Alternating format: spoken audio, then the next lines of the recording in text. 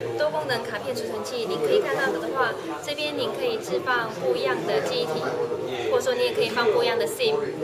然后您甚至可以放耳环。台湾优质及专利产品拓销团到南韩首尔洽谈商机，并展出各式产品，包括食品、生活用品、文具及宠物用品等七种产业，共十五家厂商，借此推广品牌，提升知名度，也希望让韩国业者了解台湾产业发展的实力。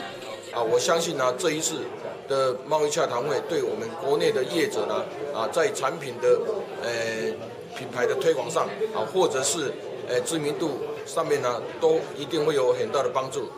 台韩两国除了产业交流，在文化交流方面也不遗余力。由现代水墨画家李义宏、杨世之、李茂成、黄博浩等人，在首尔大学美术馆举办以“句式与为式”为题的现代水墨画展。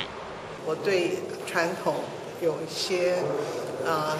看法，觉得呃我们不应该再一直受限于传统，传统里边有很美的东西，例如那个笔墨的东西是要保留下来。